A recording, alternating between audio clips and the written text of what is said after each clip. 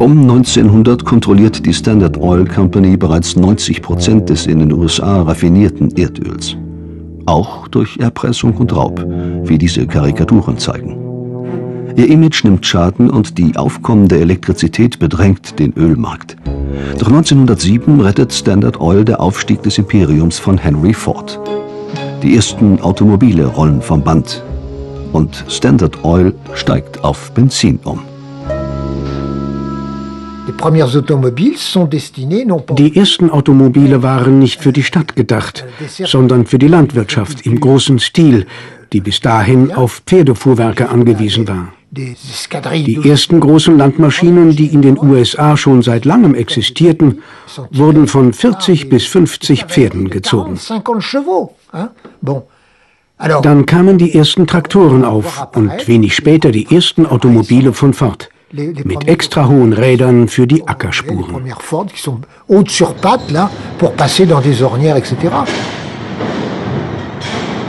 Donc, à un moment, on a le bon produit. Zu jeder Zeit das richtige Produkt.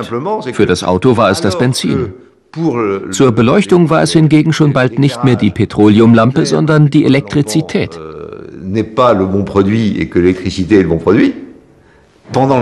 Und doch konnte sich die Erdölindustrie rasant weiterentwickeln, dank des Automobils.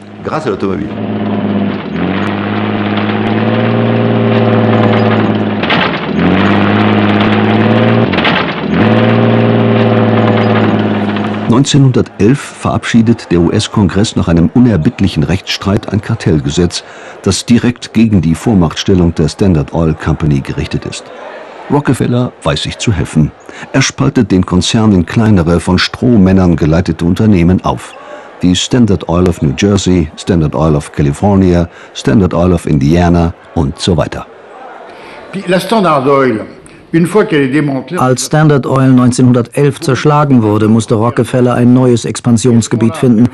Und die Welt außerhalb der USA schien ihm bestens dafür geeignet.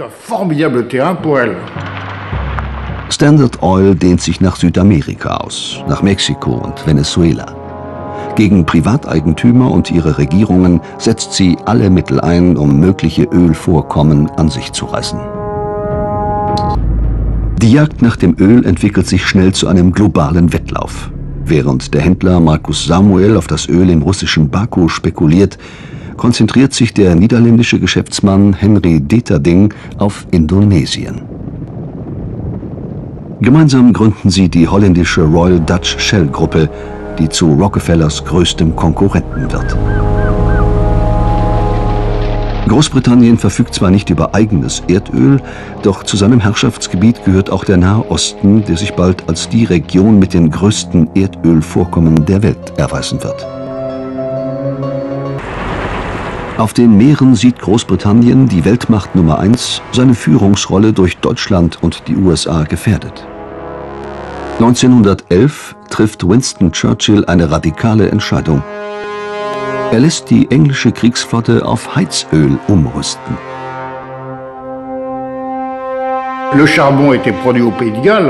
Die Braunkohle wurde in Wales gefördert, das Heizöl aber kam aus dem Persischen Golf und den USA. Churchills Entscheidung führte also zu dem, was wir heute Ölabhängigkeit nennen. Ein nationales Erzeugnis bzw. eine nationale Ressource wurde durch ein Importprodukt ersetzt. Churchill tat es, weil das Öl als Treibstoff der Kohle überlegen war. Durch die Umstellung auf Öl waren die englischen Kriegsschiffe schneller als die deutschen. Sie hatten einen großen strategischen Vorteil. Aus strategischen Überlegungen wird die britische Regierung größter Anteilseigner der Anglo-Persian Oil Company die später in British Petroleum umbenannt wird.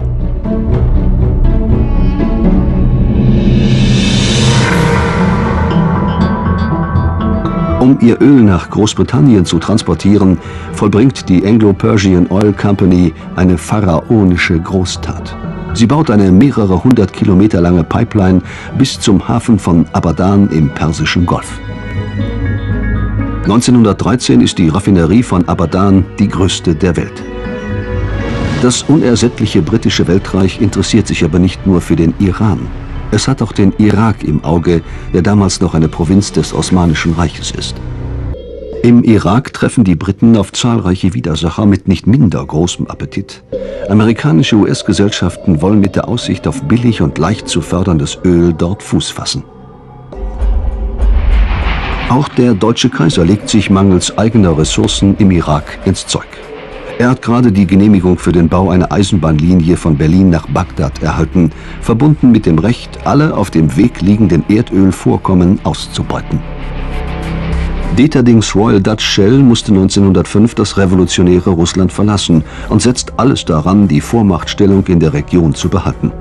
Großbritannien wiederum, das Shell unterstützt, darf den Nahen Osten auf keinen Fall an die USA, den größten Erdölproduzenten, verlieren.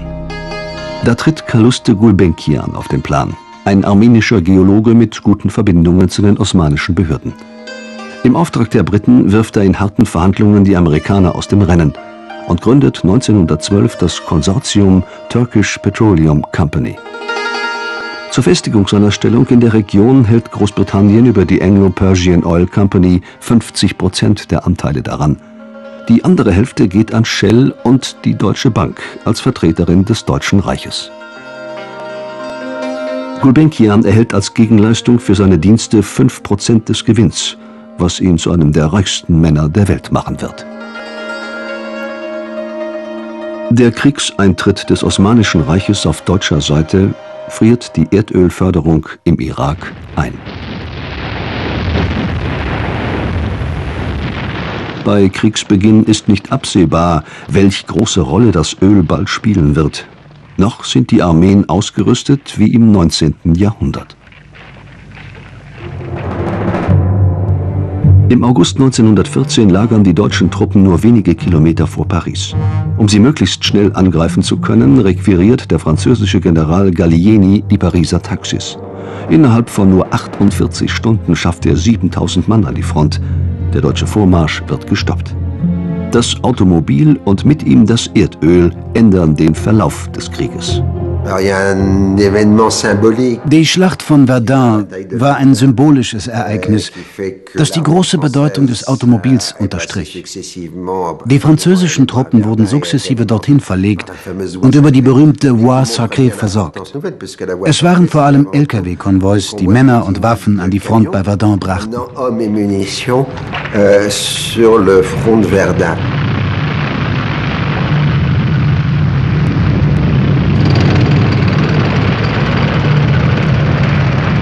Der Krieg verändert sein Gesicht. Und all die vielen Motoren benötigen Unmengen an Treibstoff.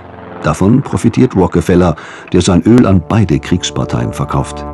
In Frankreich und Deutschland läuft die Rüstungsindustrie auf Hochtouren dank des amerikanischen Öls.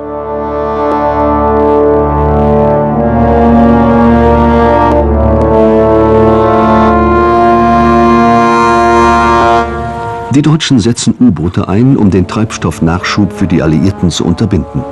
Als 1915 das Passagierschiff Lusitania torpediert wird, beschleunigt dies den Kriegseintritt der USA.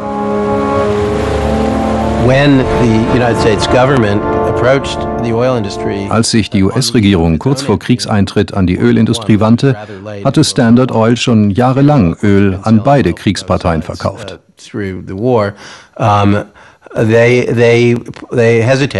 Die Konzernchefs zögerten und sagten, wir würden ja gerne helfen, aber dieses Kartellgesetz stört uns doch sehr. Wir sollten erst einmal darüber reden. Das war der Anfang vom Ende der Kartellverbote. Und genauso lief das im Zweiten Weltkrieg.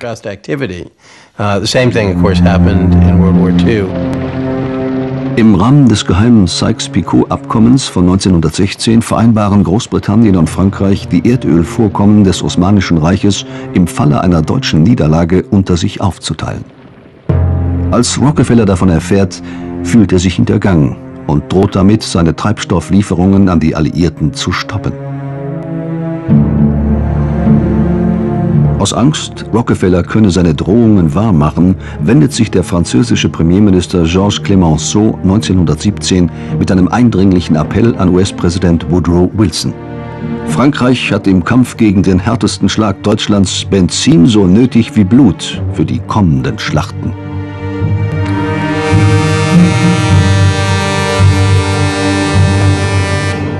Als die amerikanischen Truppen nach Frankreich aufbrechen, ist sich jeder im Klaren darüber, dass diese erste vollständig motorisierte Armee die Entscheidung bringen wird.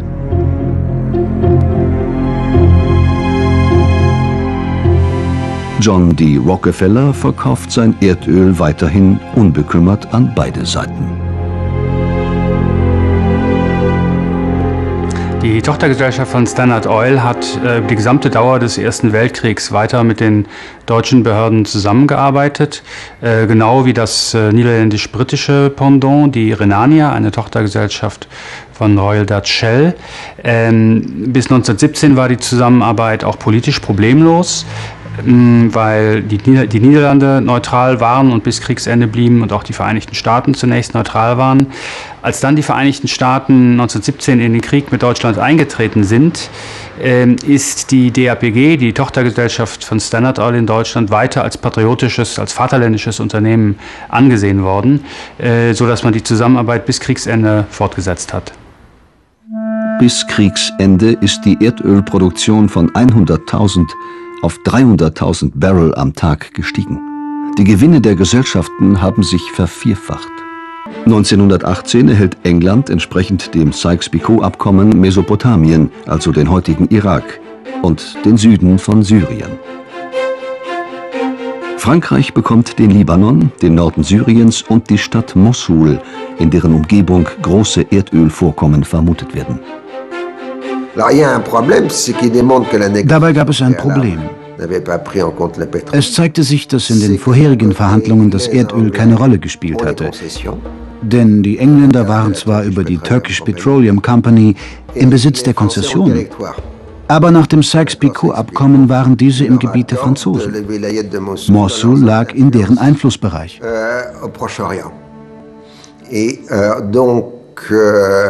Darum wurde schnell ein Tauschgeschäft ersonnen, der Gestalt, dass die Engländer den Franzosen einen Teil ihrer Konzessionen abtraten. Das fiel ihnen nicht schwer. Sie brauchten ja nur den deutschen Teil zu konfiszieren und an die Franzosen weiterzugeben.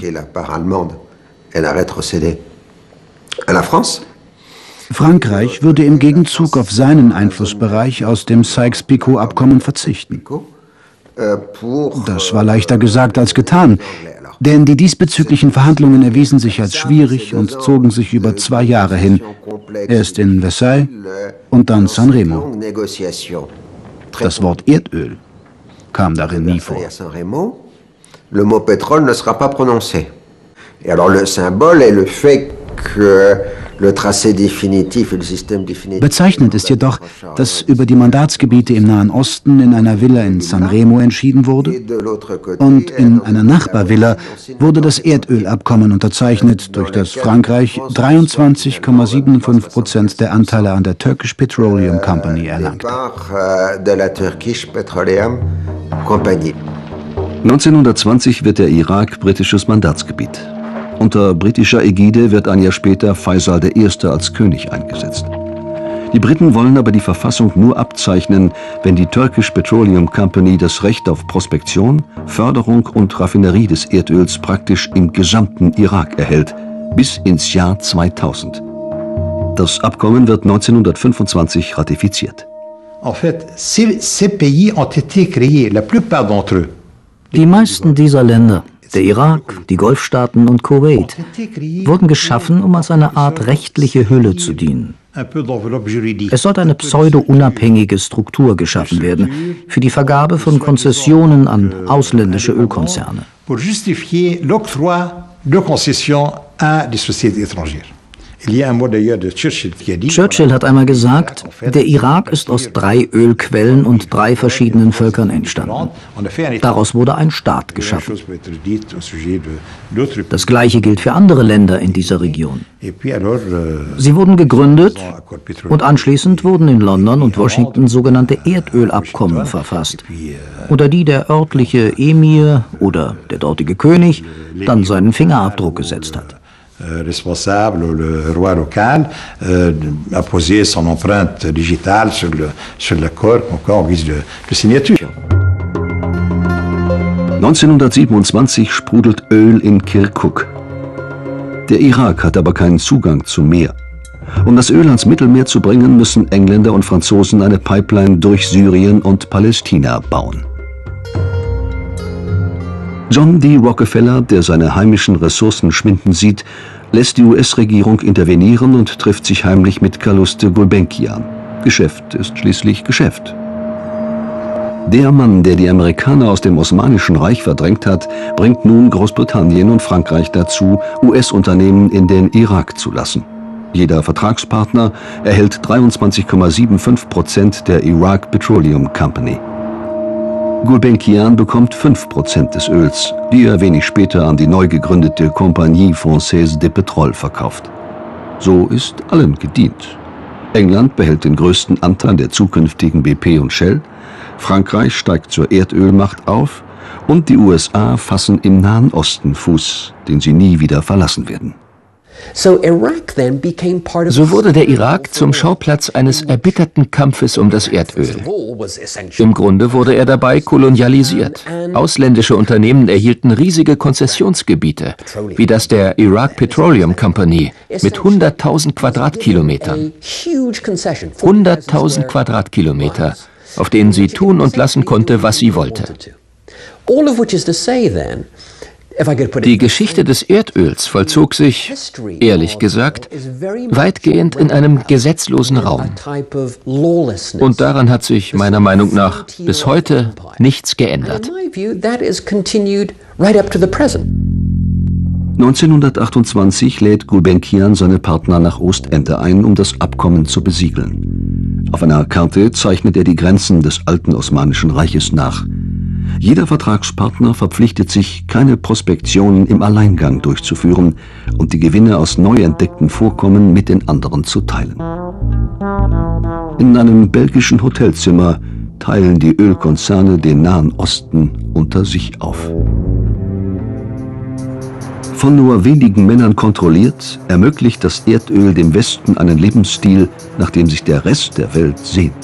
Ende der 1920er Jahre entsteht eine weltweite Krise durch Überproduktion. Die Sowjetunion, die dringend Devisen benötigt, überflutet den Markt mit billigem Öl und lässt die Kurse in den Keller fallen.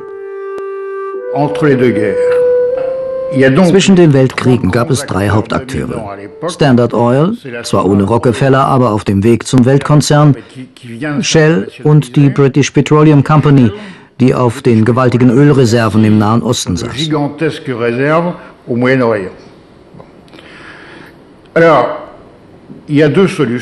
In einer solchen Situation gibt es zwei Möglichkeiten. Das sagt uns die Spieltheorie.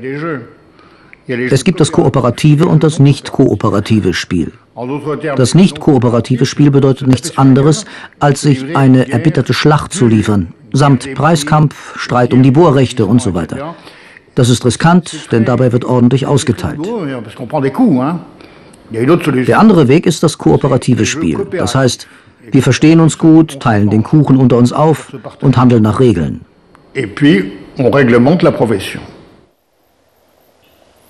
Shell-Präsident Deterding ergreift die Initiative und lädt seine Konkurrenten zu einer Jagdpartie auf Schloss Agne Carey in Schottland ein.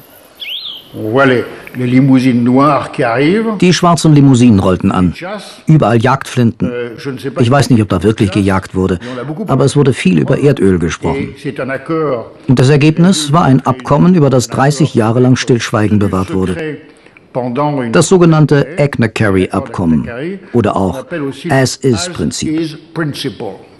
As is bedeutete, die Marktanteile wurden eingefroren, denn alle Beteiligten hatten bereits ihre Absatzmärkte. Das Abkommen wurde von drei Firmen unterzeichnet, wobei Standard Oil natürlich die amerikanischen Interessen vertrat, also auch die ihrer Tochterunternehmen Mobile, Texaco, Standard Oil of California und Gulf Oil. Dieses Agna-Carry-Abkommen bedeutet im Grunde die Aufteilung des internationalen Erdölmarkts außerhalb der USA. Denn dort gab es Kartellgesetze wie den Sherman Act. Da wurde bei solchen Absprachen nicht lange gefackelt. Aber im Rest der Welt teilten sie den Kuchen unter sich auf und organisierten gemeinsam die weiterverarbeitende Industrie. Dabei blieb es bis Mitte der 60er Jahre. Durch das Abkommen entsteht ein Kartell. Geheim und gesetzeswidrig unterzeichnet, verleiht es den neuen Ölmultis eine gewaltige Macht, die sich jeglicher staatlichen Kontrolle entzieht. Diese Machenschaften, die uns heute imperialistisch und kapitalistisch erscheinen, waren von großer Bedeutung. Sie ermöglichten eine gleichmäßige Entwicklung der Ölindustrie und das konstante Wachstum des weltweiten Ölverbrauchs in einem System, von der Quelle bis zur Pumpe. Euh, das Abkommen erlaubte den Konzernen, vernünftige Gewinne zu erzielen, sodass sich ihre enormen Investitionen amortisierten. Und da es ein geschlossenes System war, fielen externe Kosten weg. Euh, es zählte allein die Gesamtsumme der Investitionen und die erzielte Rentabilität, zu der sämtliche Schritte der Ölproduktion beitrugen.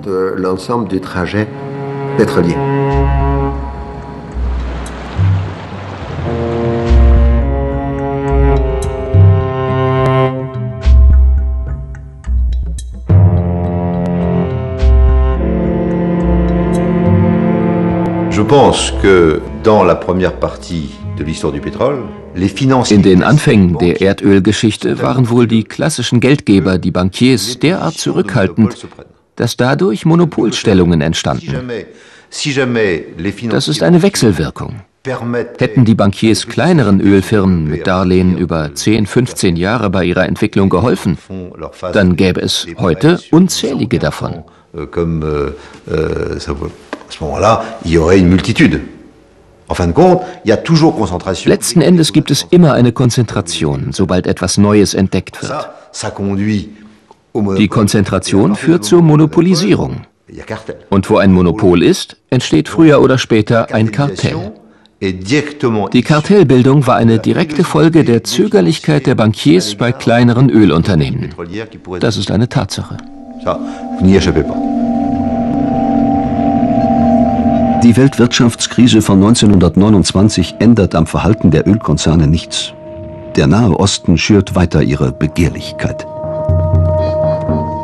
1933 kommt die Standard Oil of California, die das Abkommen nicht unterzeichnet hat, den Briten zuvor. Sie wird in Saudi-Arabien aktiv, mit Hilfe des ehemaligen britischen Diplomaten Harry St. John Philby, der seiner Regierung inzwischen feindlich gesonnen und zum Islam konvertiert ist. En 1938, l'Allemagne importait de Roumanie 886 000 tonnes. L'outre-Atlantique, 4 167 000 tonnes. Au total, 5 53 000 tonnes. Mais la guerre moderne sur les océans, dans les airs aussi bien que sur terre, exige des masses énormes de carburant. Une armée où le moteur s'est substitué au cheval doit pouvoir compter sur des ressources en pétrole quasi inépuisables. En effet, pour faire la guerre, il faut à l'Allemagne 15 millions de tonnes de carburant au minimum. Elle peut produire annuellement 3 millions de tonnes d'essence synthétique. La production totale roumaine est de 5 600 000 tonnes. Au total, 8 600 000 tonnes. L'Allemagne sera donc toujours en déficit de 6 400 000 tonnes. Mit dem Ende des Ersten Weltkriegs hat Deutschland all seine Erdölkonzessionen verloren. Ab 1922 gibt es ein geheimes Lieferabkommen mit der Sowjetunion und nach weiteren Beschaffungsmöglichkeiten wird gesucht. Aber den Nationalsozialisten genügt das nicht. In den 20er Jahren wurde immer deutlicher, dass das Deutsche Reich im Falle einer Wiederbewaffnung oder im Kriegsfall keinen gesicherten Zugang zu Öl haben würde. Eine mögliche Lösung für dieses Problem war die Gewinnung von synthetischem Öl aus Kohle.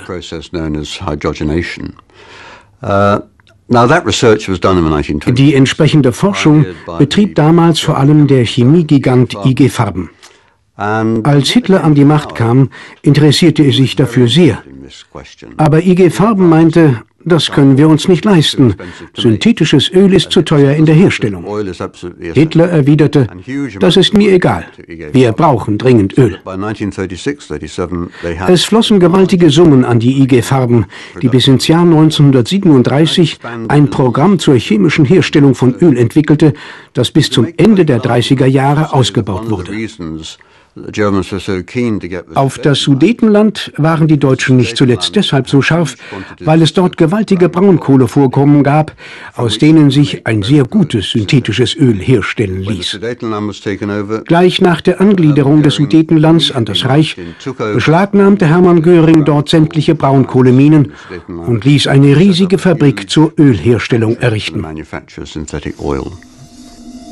1936 verkündet Hitler anlässlich der Eröffnung der Berliner Automobilausstellung, die deutsche Treibstoffproduktion muss so schnell wie möglich vorangetrieben werden. Diese Aufgabe erfordert die gleiche Entschlossenheit wie ein Krieg, denn von ihrer Erfüllung hängt die künftige Kriegsführung ab. Shell-Chef Henry Deterding, ein Anhänger des Nationalsozialismus, will Hitler Erdöl auf Kredit verkaufen. Der Verwaltungsrat zwingt ihn zum Rücktritt. Es waren große US-Firmen, deren aktive Unterstützung aus Sympathie für die Nazis die Wiederbewaffnung und Reindustrialisierung Deutschlands erst möglich machte. Alfred Sloan, who was the chairman of General Motors from the 20s through the Alfred Sloan war von den 20ern bis in die frühen 50er Jahre hinein Vorsitzender von General Motors. In den späten 30ern erhielt er einen Brief von einer Aktionärin, den wir in den Archiven fanden. Sie schrieb, wir machen Geschäfte in Deutschland über unsere Opel-Tochter. Wir bauen LKWs für das Nazi-Regime. In der Zeitung habe ich gelesen, dass sie dort Juden töten und die Menschen in den Straßen zusammentreiben. Wie können wir Geschäfte mit diesen Leuten machen? Ich bin Aktionärin und mir gefällt das nicht. Und Sloan schrieb in herablassendem Ton zurück, Madam, die dortige Politik geht uns nichts an. Wir verkaufen Autos, mehr nicht. Die Deutschen hatten Probleme bei der Herstellung von synthetischem Öl. Ihnen fehlten einige chemische Zutaten, die für das Verfahren notwendig waren, zum Beispiel Ethyl. Die bekamen sie von amerikanischen Unternehmen wie etwa DuPont. Nun heißt es immer, das Geschäft geht vor und für Geschäfte finden sich immer Mittel und Wege. Die Verbindung zu DuPont war aber in Wahrheit viel enger. Zahlreiche Abkommen zwischen DuPont und dem Chemiegiganten IG Farben zum Beispiel regelten die Aufteilung der Absatzmärkte und den technischen Informationsaustausch. Es herrschte also eine sehr enge Vernetzung zwischen amerikanischen und deutschen Unternehmen. Standard Oil half bekanntlich den Deutschen bei der Entwicklung eines Systems, um aus Kohle synthetisches Öl zu gewinnen. Die Deutschen hatten jede Menge Braunkohle, aber kaum Öl. Deshalb versorgte sie Standard Oil nicht nur bereitwillig mit Öl, sondern lieferte auch noch am Vorabend des deutschen Überfalls auf Polen 500 Millionen Tonnen Tetraethylblei. Da war noch keine Fabrik in Betrieb. Natürlich wusste Standard Oil, dass da etwas im Busch war.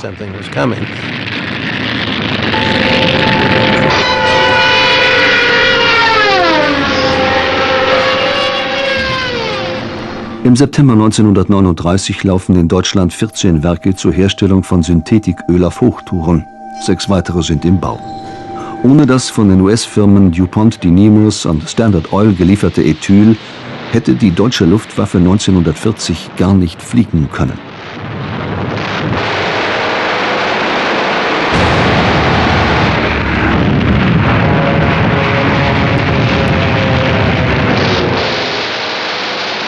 Ein interessanter Aspekt der deutschen Kriegsführung ab 1939 war deren ständige Jagd auf Öl. Sie nahmen, was sie kriegen konnten, auch in Feindesland. Das wurde zur obersten Priorität, als sie 1940 die Niederlande, Belgien und Frankreich angriffen. Es gab sogar Sondereinheiten, die Öl ausgekundschaftet und bewacht haben, damit es niemand vernichten oder wegschaffen konnte.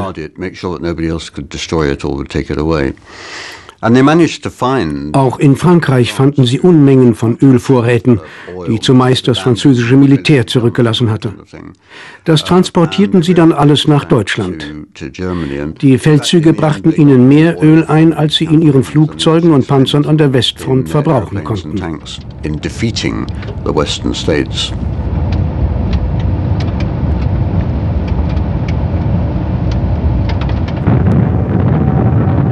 Deutschland kann England bombardieren, ohne befürchten zu müssen, dass der Treibstoff knapp wird. Großbritannien hingegen ist erneut von den Vereinigten Staaten abhängig. Es besitzt die größten Ölvorkommen der Erde, kommt aber nicht an sie heran. Das Land entgeht nur knapp der Katastrophe, denn die deutschen U-Boote fügen den Tankerkonvois Richtung England schwere Verluste zu. Am 22. Juni 1941 bricht Hitler den Pakt, den er zwei Jahre zuvor mit Stalin geschlossen hat. Die letzten russischen Öllieferungen rollen noch nach Deutschland, als Hitler die Sowjetunion angreifen lässt, um sich des Erdöls im Kaukasus zu bemächtigen.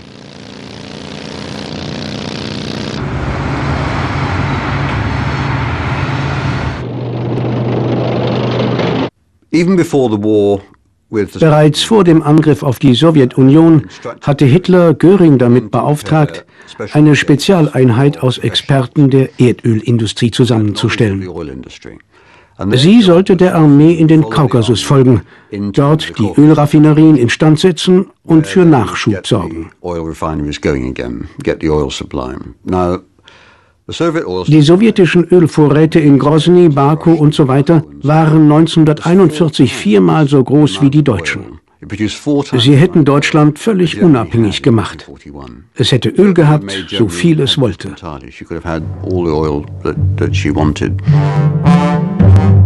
Um Erdöl geht es auch im Pazifik. Am 7. Dezember 1941 greift die japanische Luftwaffe Pearl Harbor an, als Antwort auf ein amerikanisches Exportembargo. Die Japaner verfolgen zwei Ziele. Sie wollen die US-Marine ausschalten und sich des indonesischen Erdöls bemächtigen. Die Engländer geben ihre Anlagen in Indonesien auf. Die USA erklären Japan den Krieg.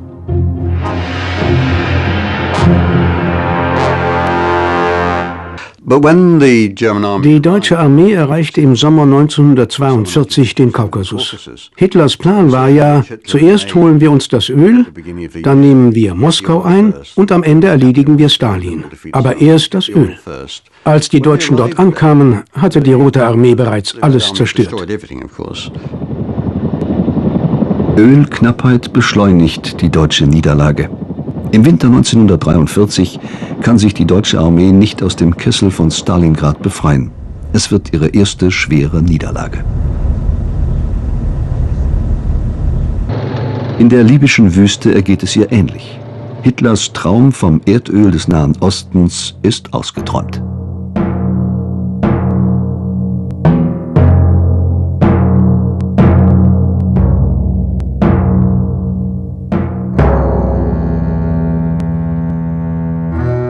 Englische und sowjetische Truppen besetzen den Iran, von dem aus Waffen und Öl an die russische Front geschickt werden. Beide Länder verpflichten sich, den Iran nach Kriegsende wieder zu verlassen.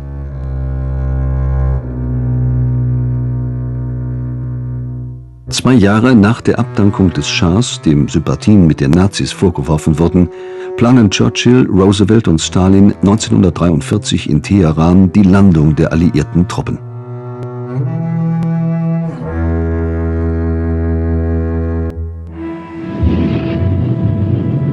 Die Rote Armee stößt 1944 nach Westen vor, Richtung Berlin. In England organisieren unterdessen die Alliierten sorgsam ihren Treibstoffnachschub. Für die Briten und Amerikaner war die reibungslose Ölversorgung bei ihrer Landung in Frankreich 1944 von großer Bedeutung.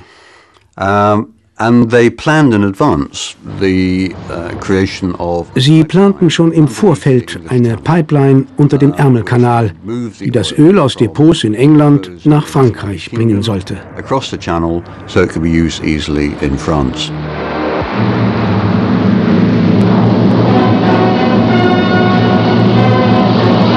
Operation Pluto, PLUTO, standing for Pipeline Under the Ocean.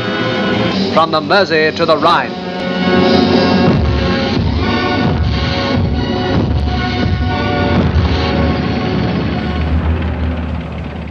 Gegen Ende des Krieges deckt die Produktion von synthetischem Öl trotz massiver Bombardements noch immer 57 Prozent des deutschen Bedarfs und 92 Prozent des Flugzeugbenzins. Reichsrüstungsminister Albert Speer, hier bei einer Inspektion, versorgt die IG Farben mit Arbeitskräften aus den Konzentrationslagern.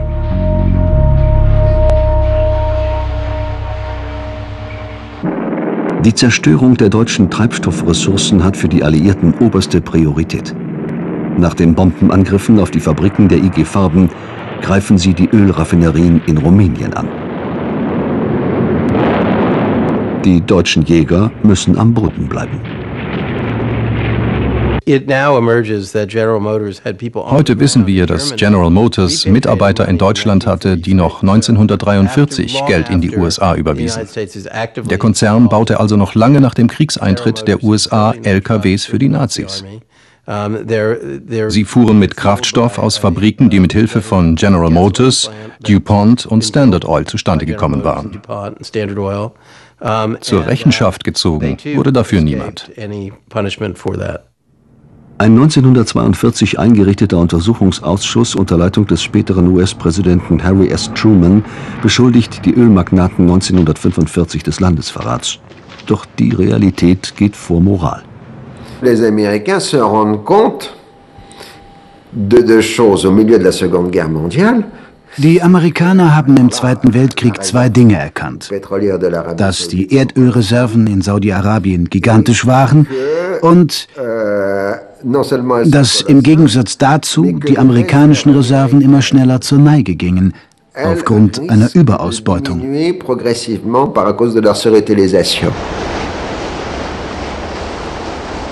Im Februar 1945 trifft US-Präsident Roosevelt auf dem Rückweg von der Malta-Konferenz mit dem saudischen König Abdel Aziz zusammen.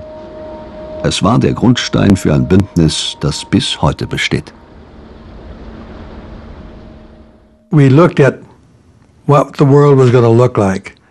Wir dachten über die Welt nach dem Krieg nach. Und wir waren sicher, dass Öl ein höchst wertvolles Gut sein würde.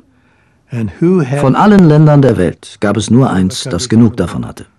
Saudi-Arabien.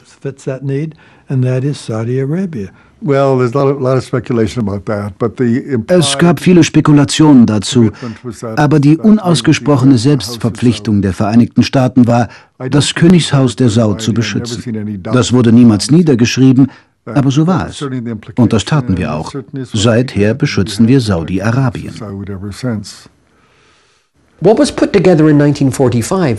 1945 wurde eine Außenpolitik geboren, die Michael Clare die globale Ölbeschaffungsstrategie genannt hat. Sie ruhte auf drei Säulen. Zunächst war da die besondere Beziehung zu Saudi-Arabien aufgrund der Übereinkunft zwischen Präsident Roosevelt und König Abdelaziz im Jahr 1945. Die zweite war Venezuela und die dritte der Iran. Diese drei Länder sollten billiges, leicht verfügbares und qualitativ hochwertiges Erdöl für die amerikanische Wirtschaft liefern.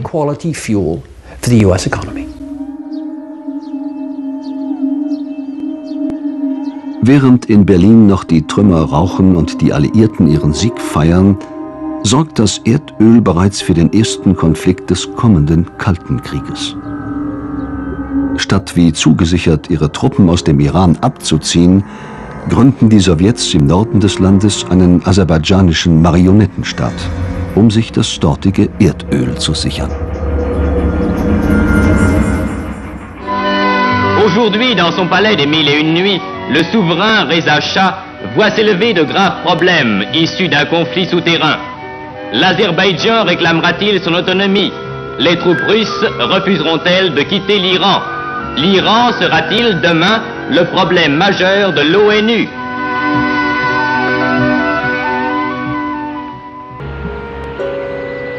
Der junge Schah gewinnt dank amerikanischer Militärhilfe die Kontrolle über sein Reich zurück. Doch der Iran wird weiterhin im Brennpunkt amerikanisch-sowjetischer Konflikte stehen. Und immer wird es um das Erdöl gehen. Schon 1928 haben sieben englische und amerikanische Ölkonzerne die Welt unter sich aufgeteilt, lange bevor es die großen drei 1945 in Jalta taten.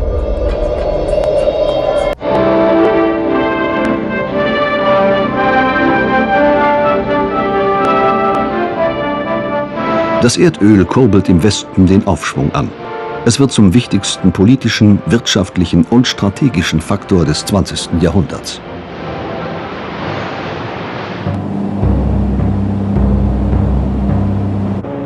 Sieben Privatunternehmen regieren die Welt und lassen nur 30 Prozent ihrer Gewinne in die Erzeugerländer zurückfließen. Doch dann zwingt Venezuela, das zweitgrößte Erzeuger- und Exportland, den Großkonzernen nach einer schweren Streikserie 1948 eine Neuregelung der Konzessionen auf. Mit einer Gewinnbeteiligung von 50 Prozent. Der venezolanische Erdölminister Pérez Alfonso reist in den Nahen Osten und wirbt dafür, dass die Erzeugerländer seinem Beispiel folgen. 1950 bietet die amerikanische Fördergesellschaft Aramco Saudi-Arabien dieselbe Beteiligung an.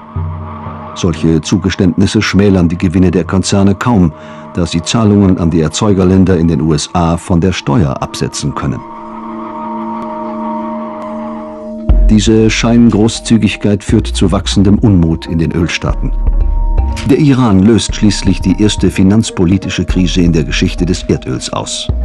Nachdem das Land vergeblich versucht hat, die Abkommen mit England neu zu verhandeln, fordert es von der Anglo-Iranian Oil Company ähnliche Bedingungen wie die in Saudi-Arabien. Die Gesellschaft lehnt ab. Am 11. April 1951 wird Mohammed Mossadegh von der Nationalen Front neuer Regierungschef im Iran. Noch am selben Tag legt er dem Parlament einen Gesetzesantrag zur Verstaatlichung der Anglo-Iranian Oil Company vor. Der Neun-Punkte-Plan wird von Reza Shah sofort unterzeichnet. Der Westen reagiert mit Herablassung. Téhéran, tous les regards sont fixés sur le palais de l'Anglo-Iranian Oil Company, centre névralgique de la fièvre du pétrole. Alentour, c'est le grouillement de formes et de couleurs de toutes les villes orientales, mais chacun sait qu'un drame est en train de se jouer. Les délégués du gouvernement pour la nationalisation ont pris l'avion pour rencontrer les envoyés britanniques. Comme viatique, ils emportent le Coran, la collade du Grand Mella et un des drapeaux que brandissent leurs partisans et qui porte inscrit Si Dieu est avec nous, quel obstacle pourra nous arrêter? Das bedeutete den sofortigen Verlust der Konzessionen zugunsten der Nationalisten. Obendrein schuf es einen Präzedenzfall. Wenn die Iraner ihr Öl verstaatlichten und den gesamten Gewinn aus der Förderung selbst einstrichen, was würde dann in Kuwait und viel schlimmer in Saudi-Arabien passieren? Würden die Saudis nicht noch höhere Forderungen stellen?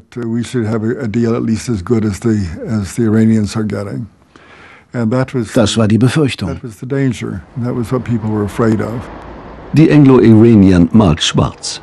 In your opinion, Mr. Jackson, what would be the probable effect in Persia of British withdrawal? I think, economic disaster.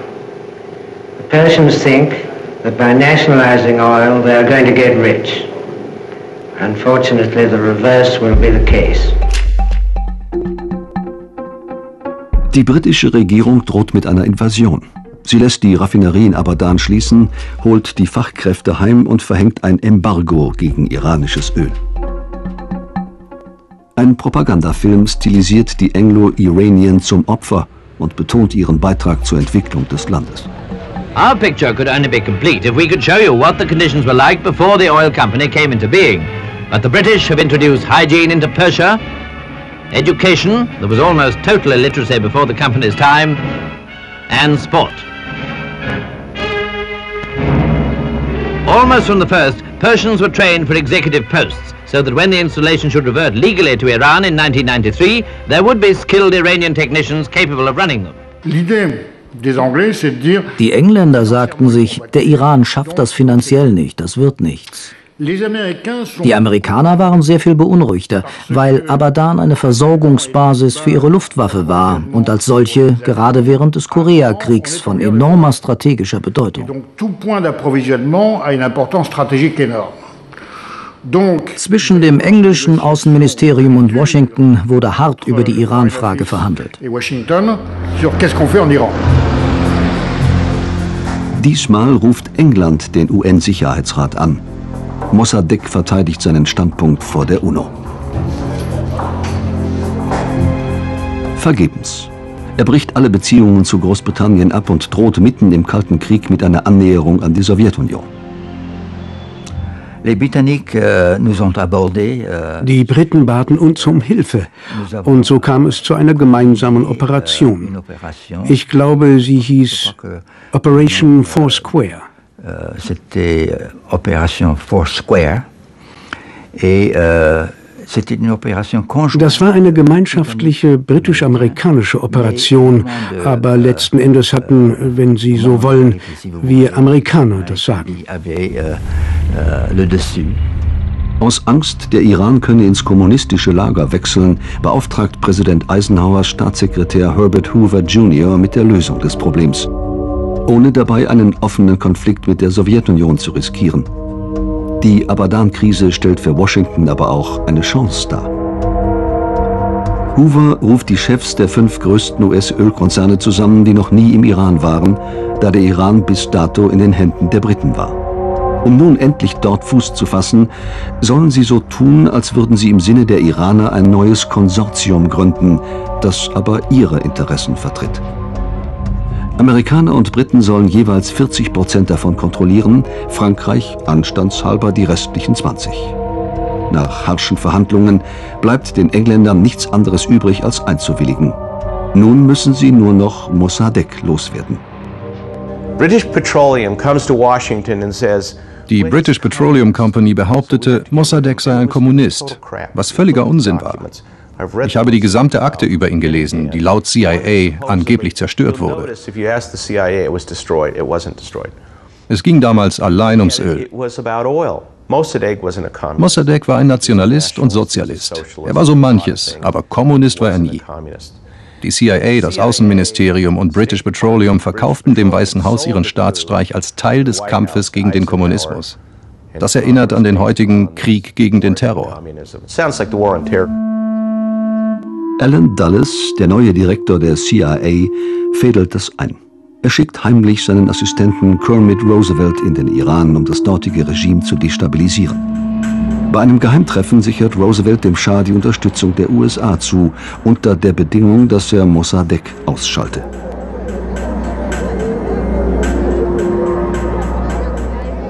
Der Schah will Mossadegh verhaften lassen, doch der kann seine Anhänger mobilisieren und übernimmt mit Unterstützung der Kommunistischen Partei die Macht. Die Straße setzt sich durch und der Schah muss nach Rom ins Exil gehen.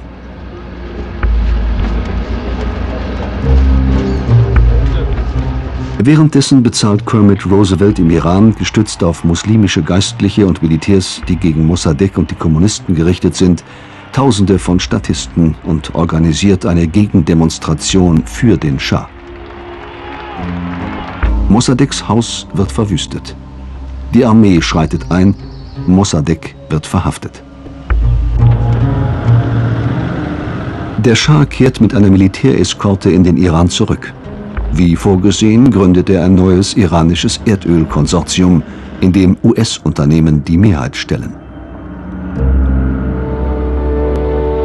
Um ihre Präsenz im Iran zu sichern, forcieren die USA die Militärhilfe für den Schah, der dank des Öls über genügend Mittel verfügt, um seine Armee aufzurüsten. Die Amerikaner siegen auf der ganzen Linie. Sie verdienen am Erdöl und den Waffenlieferungen an den Schah. The Shah closely inspects the latest weapons in the American arsenal of democracy. Mit dem Putsch gegen Mossadegh beginnt eine Zusammenarbeit zwischen der CIA und den US-Ölkonzernen. Kermit Roosevelt beendet seine Karriere als Vizepräsident der Gulf Oil Company. Die Ölgesellschaften hatten bessere Verbindungen zum Weißen Haus als die CIA. Ich hatte als CIA-Mitarbeiter nur einen Tagesausweis für den Nationalen Sicherheitsrat.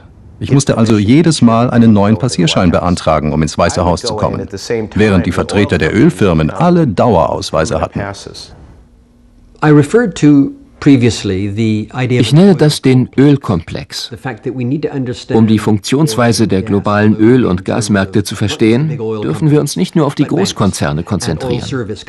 Wir müssen auch die Banken, die Zulieferer, die nationalen Ölfirmen, das Militär und vor allem Geheimdienste wie die CIA betrachten, die eine große Rolle in diesem Komplex spielen.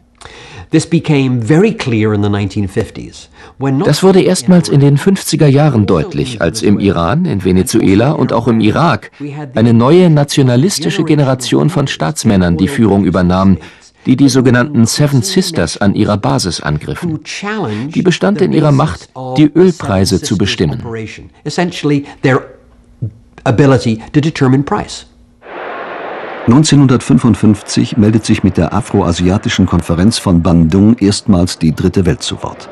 Etwa 30 Staaten, darunter die größten Erdölerzeuger Saudi-Arabien, Iran, Irak, fordern mehr Selbstbestimmung über ihre Rohstoffe. Zur gleichen Zeit sagt der amerikanische Geologe King Hubbard, ein Angestellter der Shell, das unvermeidliche Versiegen der amerikanischen Ölquellen voraus.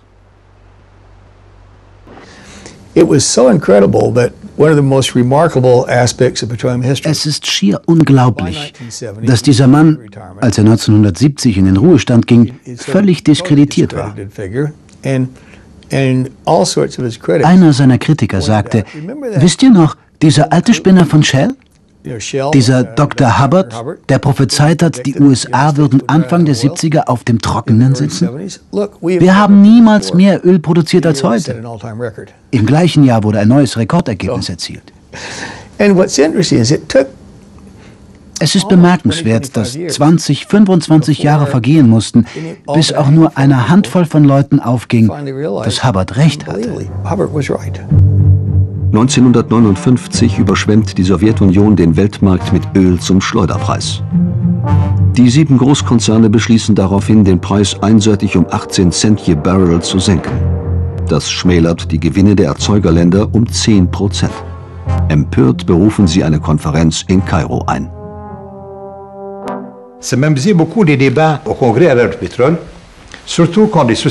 Ich fand die Debatten beim arabischen Erdölkongress äußerst amüsant.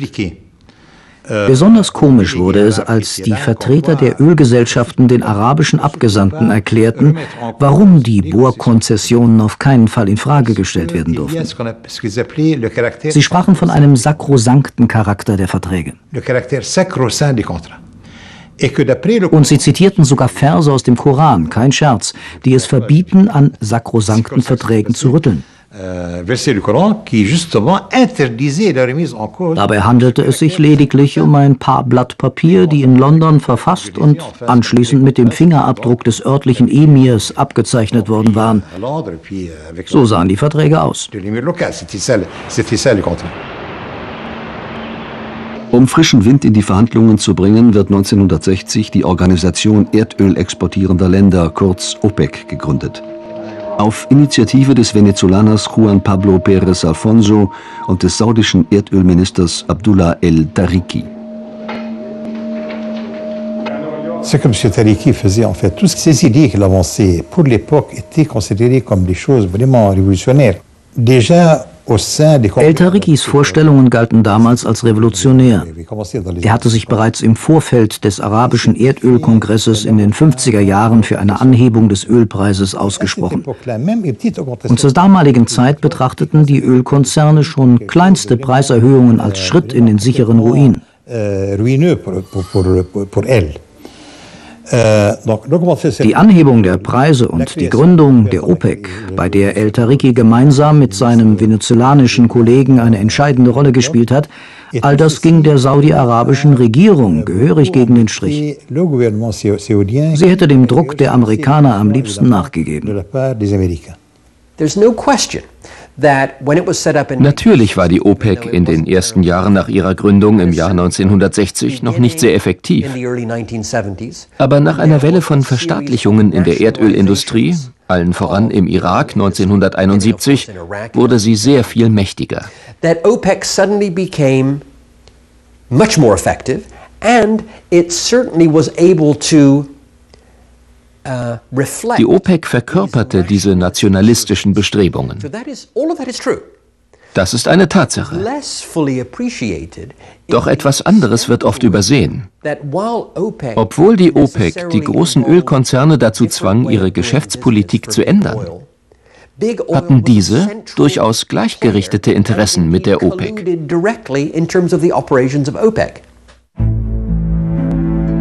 Doch zunächst ist die OPEC viel zu schwach. Sie braucht Saudi-Arabien, um der geballten Macht der westlichen Ölkonzerne Paroli bieten zu können. Fast 50 Jahre lang haben die einen Ölpreis etabliert, der bei etwa einem US-Dollar pro Barrel liegt. Das sicherte dem Westen Wachstum und Wohlstand zum kleinen Preis.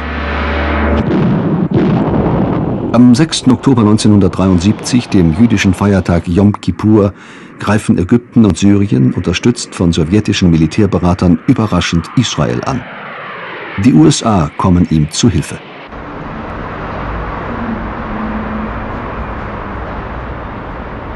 Am 16. und 17. Oktober reagieren die arabischen OPEC-Länder mit einem Exportembargo in den Westen. Panik erfasst die Verbraucherländer. Die westliche Öffentlichkeit greift die arabischen Länder scharf an. En fait, la crise pétrolière du début 70 n'a pas commencé die Ölkrise wurde nicht erst durch das arabische Embargo vom Oktober 1973 ausgelöst. Auch nicht durch die Erhöhung des Ölpreises im Dezember 1973. Sie hatte vielmehr schon 1971 begonnen, als sich in den USA eine erste Verknappung von Erdölerzeugnissen abzeichnete. Die nicht mehr ganz so Jungen unter uns erinnern sich noch gut an diese Zeit. Es gab Bilder von Autoschlangen vor amerikanischen Tankstellen. Fabriken, Schulen mussten schließen, weil es im Winter nicht genug Heizöl oder Gas gab. Es hatte in den USA also schon eine Ölkrise gegeben aufgrund einer Verknappung von Erdölerzeugnissen. Wodurch sie zustande kam, ist bis heute ein Rätsel. US-Präsident Richard Nixon fordert eine Bestandsaufnahme der amerikanischen Ölvorräte. James Akins wird damit beauftragt. Ich fuhr zu allen heimischen Erzeugern und habe ihnen erklärt, ich wolle keinen Ärger machen. Nichts würde an die Presse gelangen, was auch nie geschah. Ich musste schlicht herausfinden, wie viel Öl wir tatsächlich produzieren konnten. Das Weiße Haus brauchte diese Informationen. Es ging um die nationale Sicherheit. Ich fand heraus, dass es keinerlei ungenutzte Reserven gab. Wir waren in einer prekären Lage. Bei der Konferenz der Organisation für wirtschaftliche Zusammenarbeit und Entwicklung habe ich nichts beschönigt. Ich sagte, unsere Zahlen waren falsch. Das tut mir leid. Ich habe herausgefunden, woran das lag. Diese Zahlen hier sind die richtigen.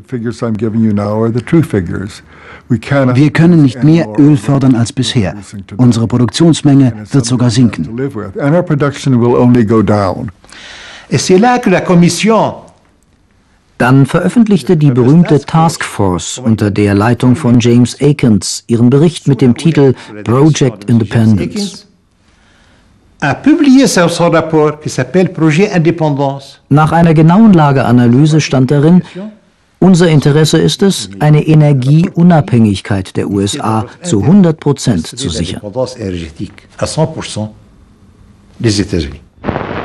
America's energy demands have grown so rapidly that they now outstrip our energy supplies. As a result, we face the possibility of temporary fuel shortages and some increases in fuel prices in America. This is a serious challenge, but we have the ability to meet it. If our energy resources are properly developed, they can fulfill our energy requirement for centuries to come. Ce qui implique une augmentation des prix du pétrole. Das lief auf einen steigenden Ölpreis hinaus. Ich traf Akins das erste Mal in Algier, wo er aus ganz anderen Gründen war. Die Verantwortlichen vor Ort gingen auf ihn zu und sagten, Sie kümmern sich doch um das amerikanische Öl. Hier findet gerade ein arabischer Erdölkongress statt. Wir würden uns freuen, wenn Sie dort eine Rede halten. Akins nahm die Einladung an. Ich saß mit all den anderen im Publikum. Er ging ans Rednerpult und sagte, ich verstehe Sie sehr gut. Einige unter Ihnen begrüßen es sicher, dass der Irak sein Erdöl verstaatlicht hat. Ich habe Verständnis für den Nationalismus und dafür, dass einige hier den Ölpreis anheben wollen, manche sogar auf bis zu vier oder fünf Dollar pro Barrel. Im Juni 1972 von einem Ölpreis dieser Höhe zu sprechen, das war unerhört und hat alle Anwesenden schockiert. Zum ersten Mal wurden solche Zahlen genannt. Das ist nicht ganz richtig. Ich hatte vor meiner Abreise nach Algier in den USA gesagt, dass der Ölpreis zu niedrig sei und dass er angehoben werden müsse, weil die Reserven beschränkt seien. Die Nachfrage steige bei einem so niedrigen Preis dramatisch an. Und er lasse die Erschließung neuer Ölvorkommen nicht zu. Deshalb müsse der Preis ganz einfach steigen. Every time Dr. Henry Kissinger comes to Saudi Arabia Immer wenn Henry Kissinger nach Saudi-Arabien kam, sagte König Faisal zu ihm, wenn Sie nach Teheran fliegen, dann wirken Sie doch bitte auf den Schah ein, dass er den Ölpreis nicht weiter erhöht. Kissinger lächelte und beteuerte, er werde sein Bestes tun.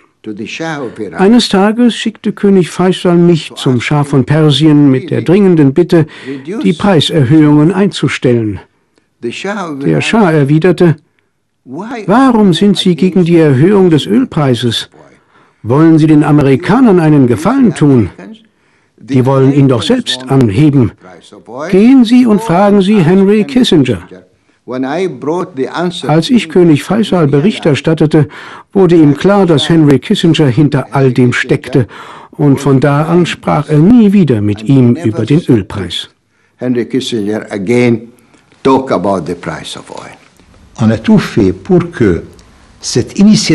Die Amerikaner taten alles, um die Preissteigerung, die sie selbst betrieben, den Arabern anzulasten. Das war bequem, es entsprach der öffentlichen Meinung im Westen. Wir mussten lange mit dieser Lüge leben, einer von vielen Lügen. Das Ölembargo bleibt eine Fiktion. Die USA, die in Vietnam Krieg führen, sind zu keinem Zeitpunkt davon betroffen. Saudi-Arabien wurde von zwei namhaften Senatoren öffentlich angegriffen, die zutiefst anti-arabisch eingestellt waren. Ich bat darum, ihnen die Tatsachen darlegen zu dürfen, damit sie ihre Attacken einstellten. Und das tat ich. Ich sagte, die Fakten sehen so aus. Das Öl geht von Saudi-Arabien nach Bahrain, von wo aus es nach Vietnam verschifft wird. Ob mit amerikanischen oder ausländischen Tankern spielte keine Rolle. Die Senatoren sollten jedenfalls wissen, dass wir in Vietnam nie vom Öl abgeschnitten waren. Sie mussten allerdings Stillschweigen bewahren. Niemand durfte erfahren, dass Saudi-Arabien das OPEC-interne Abkommen gegen die USA gebrochen hatte. Aber das hat geklappt. Es kam nie an die Öffentlichkeit. And it worked, and there was never any leak. Der Anstieg des Ölpreises kommt den Ölkonzernen sehr gelegen. Nun haben sie die finanziellen Mittel, die teurere Förderung in der Nordsee voranzutreiben und können sich gleichzeitig mit billigerem Öl aus dem Nahen Osten versorgen. Als der erste Ölpreisschock vorbei ist, glaubt niemand mehr, dass Erdöl jemals wieder billig werden könnte. Die ganze Welt wartet auf die Entscheidung der OPEC. Das Schah-Regime steigt dank der Öleinnahmen zur größten Wirtschafts- und Militärmacht im Nahen Osten auf. Für Nixon und Kissinger ist der Iran der Regionalpolizist am Golf. Doch dann scheitert der Schah am eigenen Größenwahn. The last time I met the Shah of Iran, als ich den Schah das letzte Mal sah, war er sehr sonderbar, gar nicht mehr er selbst. Er sprach davon, dass er in alle arabischen Staaten am Golf einmarschieren werde, an ein und demselben Tag. I will do this, I will do that. Ich war völlig verblüfft. Kurz darauf reiste ich nach Jeddah in Saudi-Arabien. Der dortige US-Botschafter war ein sehr guter Freund von mir, James Akins.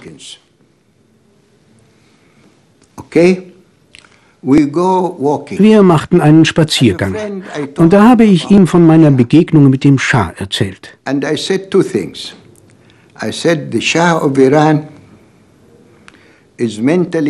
Ich sagte, der Schah von Iran sei geistig verwirrt und eine Revolution sei absehbar.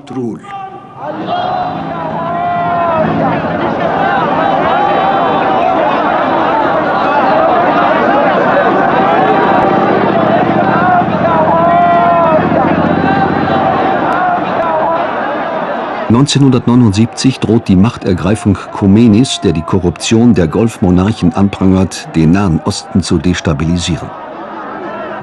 Zur gleichen Zeit rückt die Sowjetarmee in Afghanistan ein. US-Präsident Jimmy Carter verhängt ein Exportembargo für Weizen und rüstungsrelevantes Material gegen die Sowjetunion.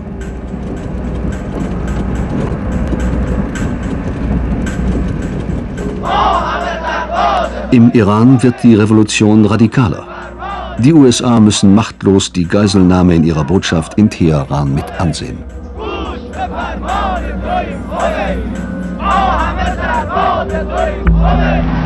Der Amtsantritt von Ronald Reagan im Januar 1981 ist vom politischen Willen geprägt, die Vormachtstellung der USA wiederzuerlangen. Der Ost-West-Konflikt erreicht eine Schärfe wie seit dem Ende des Zweiten Weltkriegs nicht mehr. Einmal mehr wird das Erdöl und mit ihm das Erdgas zum entscheidenden Faktor im Tauziehen der beiden Großmächte. Die Sowjetunion bekommt das bald zu spüren. Ronald Reagan betrachtet mit Argwohn den geplanten Bau einer Pipeline, die Europa mit Gas aus der UdSSR versorgen soll. Die Europäer wollen sie mitfinanzieren. Bei seinem ersten Treffen mit den europäischen Staatschefs im kanadischen Ottawa bittet Reagan darum, dieses Vorhaben aufzuschieben. Helmut Schmidt lehnt ab, François Mitterrand spielt auf Zeit.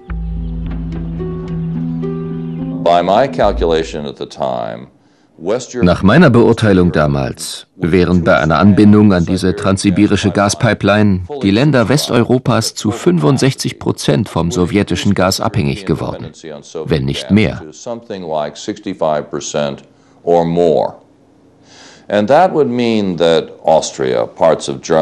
Österreich und Teile Westdeutschlands sogar zu 100 Prozent. Im Gesamtdurchschnitt wären es 65 Prozent gewesen.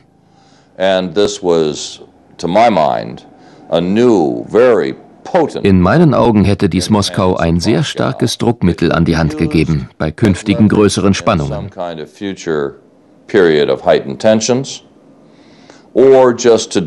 Oder auch nach Belieben gegen die NATO. Als in Polen 1981 der Kriegszustand ausgerufen wird, verhärten sich die Fronten. Ronald Reagan demonstriert Härte. Our sanctions against the military dictatorship that has attempted to crush human rights in Poland and against the Soviet regime behind that military dictatorship clearly demonstrated to the world that America will not conduct business as usual with the forces of oppression. Die Europäer gehen auf Abstand zu den USA. Sie brauchen sowjetisches Gas für ihre Wirtschaft. En 81, nous avions été appelés à décider à l'échelle européenne à décréter un embargo 1981 sollten wir auf europäischer Ebene ein Embargo gegen die Sowjetunion verhängen, nachdem in Polen wegen der Solidarność-Bewegung der Kriegszustand ausgerufen worden war. Ich habe miterlebt, wie in Brüssel eine schöne lange Liste mit Embargo-Vorschlägen diskutiert wurde.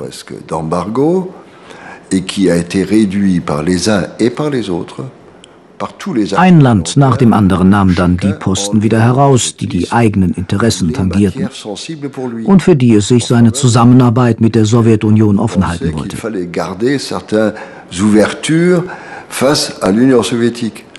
Am Ende war die Liste erheblich kürzer als die, die der Kommission zu Beginn vorgelegen hatte.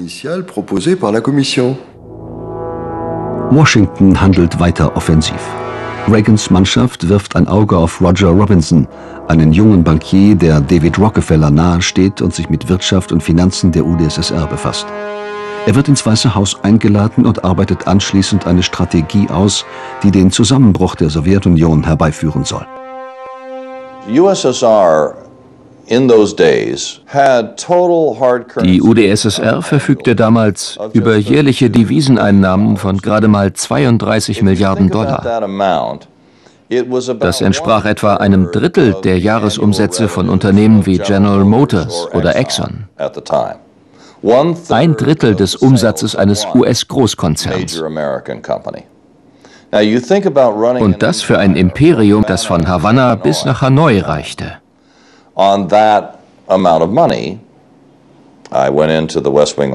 Ich kam ins Büro im Westflügel des Weißen Hauses uh, und Sicherheitsberater Clark stellte mir die Frage, was würden Sie tun, wenn Sie hier arbeiten würden? Ich antwortete, gut, dass Sie fragen. Ich habe nämlich einen Plan. Dann habe ich beschrieben, wie sich die Abhängigkeit Westeuropas vom sowjetischen Gas reduzieren ließe. Wir müssten westliche Staatskredite an die UdSSR unterbinden, technische Kontrollen verstärken und versuchen, den Ölpreis ein wenig zu senken. Denn jeder Dollar weniger pro Barrel bedeutete für die UdSSR damals einen Einnahmeverlust in Höhe einer halben bis zu einer Milliarde Dollar.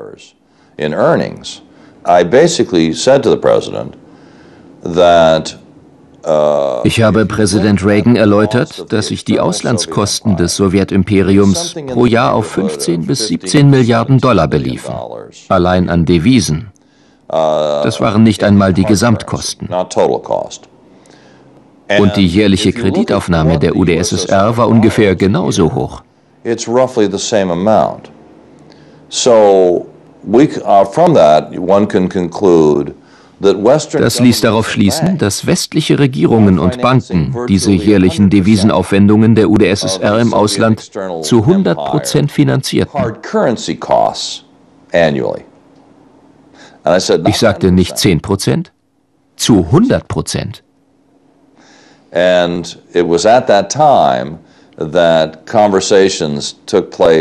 Etwa einen Monat lang wurden dann Gespräche geführt. Präsident Reagan wies seinen Sicherheitsberater Bill Clark schließlich an, heimlich diese Strategie zu verfolgen, um die Devisenbeschaffung der Sowjetunion zu erschweren. Uh, uh,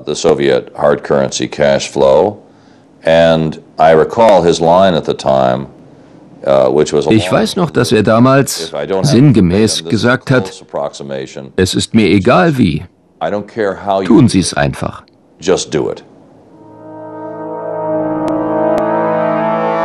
Die Stationierung amerikanischer Pershing-Raketen in Westdeutschland erhöht die Spannungen zwischen Ost und West. Reagan verfügt ein Embargo gegen das sowjetische Pipeline-Projekt.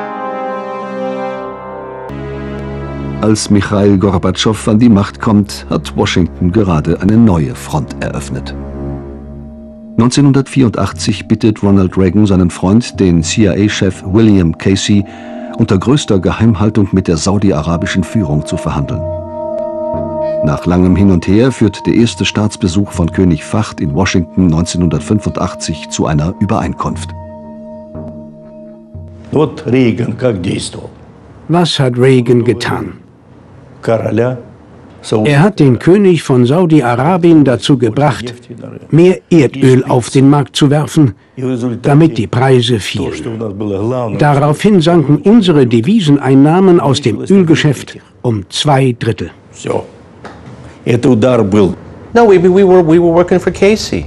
Wir haben für Casey gearbeitet und unser Plan war, die Sowjetunion zu Fall zu bringen, einfach indem wir die Saudis zu einer Überproduktion veranlassten. Sehen Sie sich nur mal die Fördermengen eines großen Vorkommens wie Gawar an. Die Saudis haben den Ölmarkt überschwemmt, zum Schaden der sowjetischen Wirtschaft. Sie war ohnehin eine Seifenblase und darauf angewiesen, Erdöl relativ teuer zu verkaufen.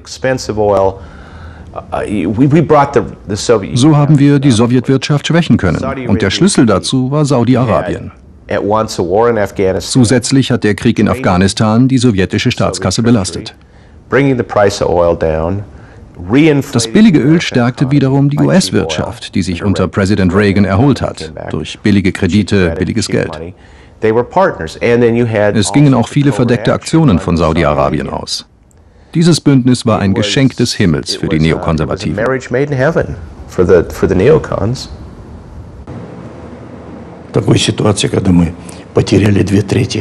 Die Lage wurde immer schlimmer.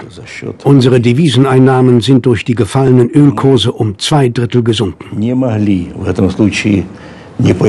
Wir mussten, um die Verluste auszugleichen, auf unsere Gold- und Devisenreserven zurückgreifen. Und das in einem solchen Umfang, dass am Ende nichts mehr übrig war.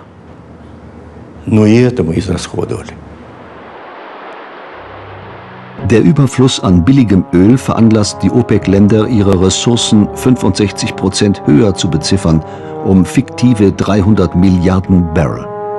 Niemand weiß mehr, wie groß die Weltölreserven wirklich sind.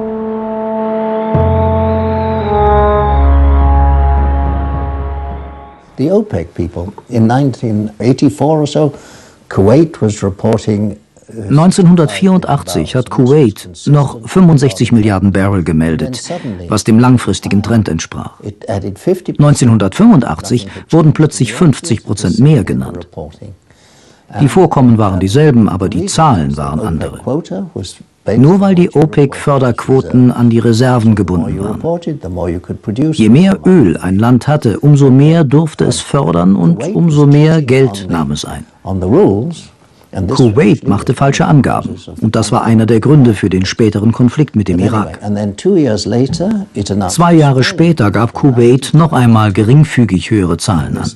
92 statt 90 Milliarden Barrel, was die anderen OPEC-Länder endgültig empört hat. Aus Abu Dhabi hieß es, wenn ihr 92 habt, haben wir 31. Der Iran legte nach, wir haben 93 statt 49 Milliarden Barrel. Saddam Hussein übertrumpfte beide mit 100 statt 47. Und Venezuela machte einen Sprung von 25 auf 56 Milliarden Barrel, indem es, anders als vorher, das Schweröl mit einrechnete. Saudi-Arabien hatte jedoch schon vorher mehr als Kuwait angegeben. Es wartete zwei Jahre und stockte seine Zahlen dann massiv auf. So kamen 300 Milliarden Tonnen fiktives Erdöl zustande.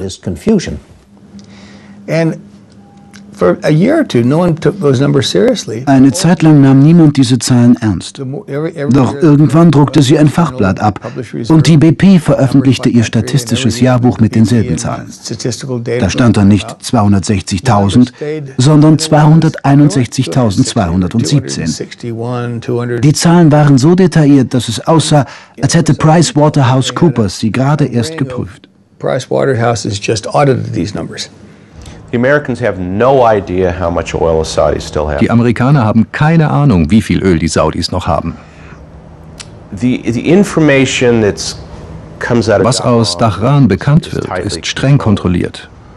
Wann immer von neuen Ölfeldern die Rede ist, halten die Saudis die 3D- und die seismischen Ergebnisse zurück.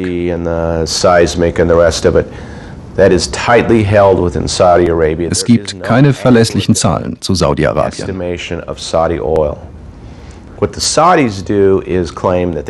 Die Saudis behaupten, sie hätten noch jede Menge Öl und neue Ölfelder.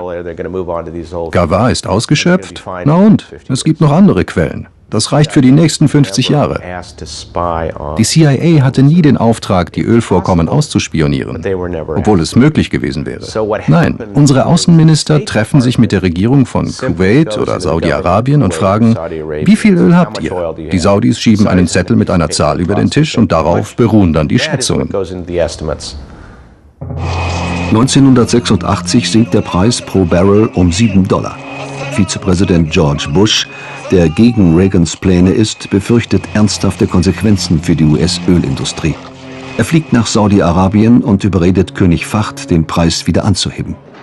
Die Ölwelt hat ihren Fürsprecher gefunden. Zwei Jahre später wird George Herbert Walker Bush ihr Präsident an der Spitze der USA. 1988 ist Saddam Hussein nach seinem Krieg gegen den Iran völlig ruiniert. Obwohl er bis dahin das Bollwerk der arabischen Welt gegen die Bedrohung durch den Iran war, verweigern ihm die Golfstaaten finanzielle Unterstützung, insbesondere Kuwait. Am 3. August 1990 lässt er dort einmarschieren. Kuwait betrachtete er schon immer als zum Irak gehörig. Und die 1986 von den Golfstaaten gefälschten Zahlen ihrer Ölreserven machen sie strategisch umso bedeutungsvoller. We're in a determined mode. A mode that he should get out without concession. And this is the will of the world body. This is the will of the entire world, if you will, against this man. And he's got to understand it. So we're going to keep on repeating it. No concession, no negotiation for one inch of territory. Uh, and Mr. Saddam Hussein, simply do what the world is calling upon you to do. Get out. Auf Initiative der USA werden fast eine Million Soldaten aus mehr als 30 Ländern in Saudi-Arabien zusammengezogen. Der erste Golfkrieg beginnt. Beim Golfkrieg 1990-91 ging es natürlich um den Schutz der Erdölreserven.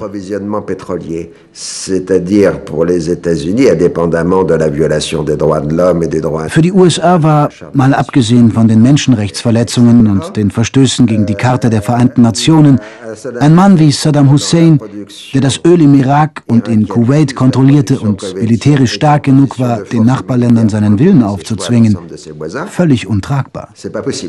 Er würde die Ölpreise festlegen. Und er war für seine harte Haltung in dieser Frage bekannt.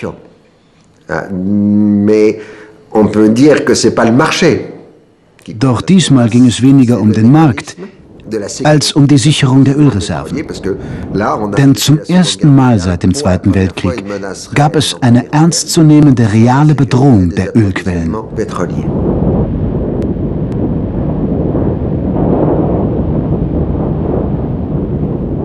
Je me rappelle très bien de nach diesem Krieg wurde zu einem Welterdölkongress in Madrid James Schlesinger eingeladen, der unter Nixon, Ford und Carter wichtige Posten in der US-Regierung innegehabt hatte. Als Energie- und Verteidigungsminister. Äh, er wurde also einerseits als ehemals hochrangiger US-Politiker eingeladen, aber auch als ein Berater. Und er sollte seine Ansichten zur globalen Energiepolitik nach dem Golfkrieg euh, darlegen. de l'énergie dans le monde, donc après cette guerre du Golfe. Et euh, je n'ai pas oublié cette phrase qu'il a utilisée, qu'il est difficile de l'oublier. Ich werde einen Satz von ihm nie vergessen, den er dort gesagt hat. Euh, ce que, textuellement, ce que euh, die amerikanische Öffentlichkeit hat aus dem Golfkrieg, aus der Eroberung und Befreiung Kuwaits gelernt, dass es wesentlich leichter und spaßiger ist, den Leuten im Nahen Osten den Hintern zu versohlen, als einen hohen Ölpreis hinzunehmen. Les sacrifices avec des prix de pétrole élevés. Let me be more direct. The United States is addicted ich sage es ganz offen. Die USA sind süchtig nach Öl. Und alles, was dieser Sucht im Wege steht, wird beiseite geräumt. Ob CIA, Politik, nationale Sicherheit oder Umwelt, es geht immer um das Öl. It is all based on oil. 2001 wird Dick Cheney, ehemaliger Verteidigungsminister von George Bush Vater, Vizepräsident neben George Bush Jr. und damit ein sehr mächtiger Mann der USA. Er will Saddam Hussein stürzen, um die amerikanische Ölversorgung zu sichern. Bis zu seiner Ernennung war er Präsident des Halliburton-Konzerns, den er zum weltweit wichtigsten Ölzulieferer gemacht hat. The only thing that Cheney cares about is the profit for the oil companies. Für Cheney zählen allein die Profite der Ölgesellschaften. Nicht, weil es ihm um den Wert seiner Aktien geht, sondern er betrachtet die Ölindustrie als einen Stützpfeiler der US-Wirtschaft. Er glaubt, dass sie die USA so groß gemacht hat. Wenn der Chef von Exxon sagt, wir können die Kosten des Tankerunglücks vor der Küste von Alaska nicht tragen, die sind immens, dann findet Cheney einen Weg, Exxon zu entlasten. In 2001 Vice President Cheney 2001 bildete Vizepräsident Cheney eine nationale Gruppe für Energiesicherheit.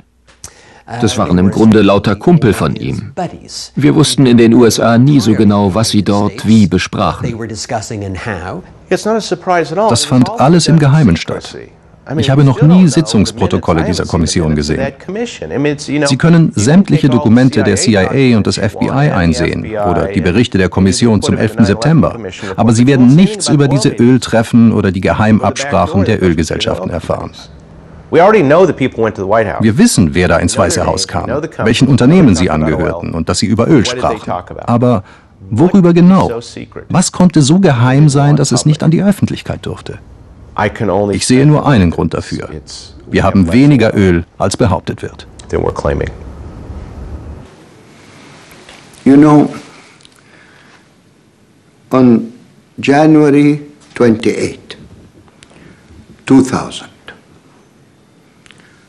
less than two weeks am 28. Januar 2000, keine zwei Wochen nach seinem Einzug ins Weiße Haus, berief George W. Bush den Nationalen Sicherheitsrat ein, um über den Nahen Osten zu sprechen. To discuss the Middle East. Die Mitglieder kamen in der Erwartung, dass es um den arabisch-israelischen Konflikt gehen werde. Bush sagte ihnen gleich zu Beginn, ich will nicht über Israel und Palästina sprechen. Alle waren erstaunt. Dann sagte er, Clinton hat Fehler gemacht. Er hat für die Araber und gegen die Israelis gearbeitet. Ich werde diese Fehler jetzt korrigieren. Ich lasse den Israelis in der Palästina-Frage freie Hand. Colin Powell sagte, wenn sie den Israelis freie Hand lassen, werden sie die Palästinenser vernichten. Bush antwortete, na wenn schon, sollen sie doch. Ich will mit ihnen über den Irak reden. Die Wirtschaftssanktionen bringen nichts. Wir müssen militärisch vorgehen. All the decades of deceit and cruelty have now reached an end. Saddam Hussein and his sons must leave Iraq within 48 hours. Their refusal to do so will result in military conflict.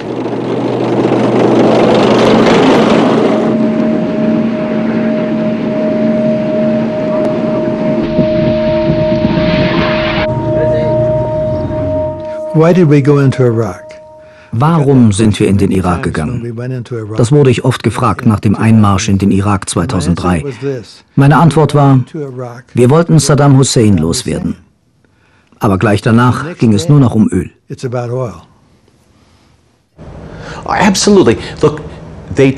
Natürlich. Wolfowitz, Cheney und all die anderen haben ernsthaft geglaubt, die irakische Ölförderung auf 6 Millionen Barrel am Tag steigern zu können. Dass so die US-Ölgesellschaften die irakischen Ölvorkommen in die Hände bekämen. Sie glaubten aus purer Ideologie, dass nach dem Einmarsch eine Demokratie nach amerikanischem Vorbild entstehen würde. Kein Gedanke, dass dabei eine Demokratie nach iranischem Vorbild herauskommen könnte. Es konnte nur eine Regierung sein, die der US-Ölindustrie wohlgesonnen war.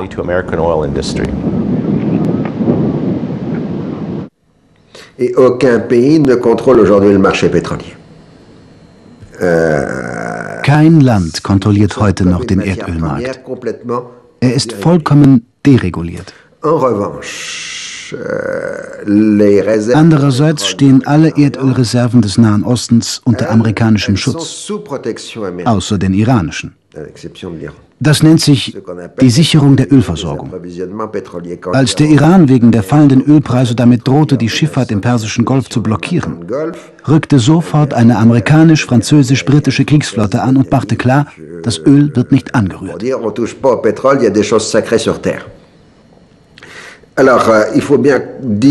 müssen unterscheiden zwischen Markt und Geopolitik. Der Markt sichert den Wohlstand und ist von Angebot und Nachfrage abhängig. Es gab nach der Jahrtausendwende einen kontinuierlichen Anstieg des Ölpreises, der mit dem wachsenden Verbrauch in Schwellenländern wie China zusammenhing. La Chine, etc. Et puis, euh, vous avez la protection. Und dann ist da die Schutzfunktion. Dahinter steht das Selbstverständnis der USA als gewissermaßen Verwalterin der großen Verbrauchermärkte. des puissances consommatrices die USA stellen für sämtliche Verbraucherländer die Ölversorgung sicher. Insofern profitieren wir Franzosen, die Briten, Deutschen und Italiener vom amerikanischen Schutz, der dafür sorgt, dass das Erdöl immer bei uns ankommt. qui nous assure que le pétrole arrive bien de façon tangible chez nous, mais en même temps, la protection Gleichzeitig hat dieser Schutz eine geopolitische Funktion. Die Amerikaner signalisieren den anderen Ländern indirekt, solltet ihr uns angreifen, wird es euch ergehen wie Japan und Deutschland im Ersten und Zweiten Weltkrieg. Und ihr seid raus aus dem Markt.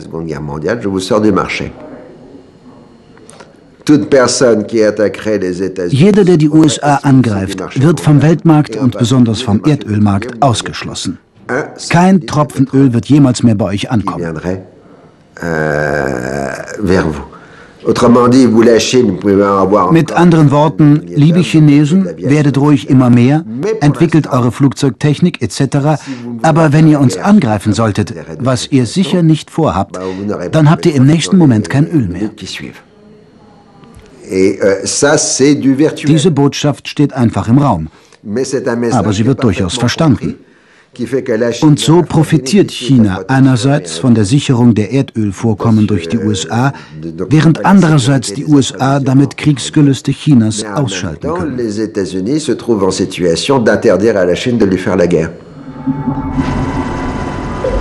Die militärische Intervention im Irak war der Beginn eines neuen Krieges um die Ölreserven. Eine vielleicht schon überholte Strategie. Ironischerweise haben die USA dem Iran durch diesen Krieg Tür und Tor geöffnet, wie die wiederholten Besuche des schiitischen Premierministers des Irak in Teheran zeigen. Der Iran könnte schon bald das irakische Erdöl kontrollieren. China ist es innerhalb weniger Jahre gelungen, seine Ölversorgung durch neue internationale Bündnisse zu sichern, die außerhalb des Einflussbereichs der USA liegen.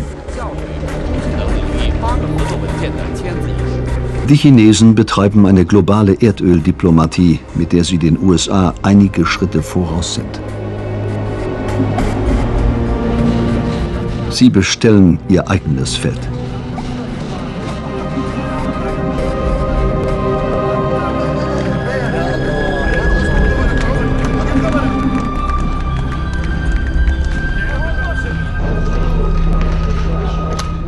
Peking wird den Erdölmarkt bald dominieren, während die Ölreserven auf dem niedrigsten Stand aller Zeiten sind. Since, since 1964, we've, every year we find less. Seit 1964 finden wir jedes Jahr weniger Öl. Wir verfügen über bessere Technologien und suchen wie verrückt. Aber wir finden nichts, weil einfach nicht mehr Öl da ist. Even if the oil demand was completely flat, selbst wenn die Nachfrage in den nächsten 25 Jahren völlig gleich bliebe, müssten wir Vorkommen finden mit 45 Millionen Barrel pro Tag, um die Ölförderung auf dem jetzigen Stand zu halten. Das ist eine gewaltige Herausforderung. Wir müssten in den nächsten 25 Jahren vier neue Saudi-Arabien auftun, was uns sehr schwer fallen wird. Und das würde gerade reichen, um den Rückgang in den bestehenden Quellen auszugleichen. Die Erdölreserven werden immer knapper. Auf sechs verbrauchte Barrel kommt heute nur noch ein neu entdecktes. Ein neuer Ölkrieg hat bereits begonnen. Wird Afrika der Schauplatz sein?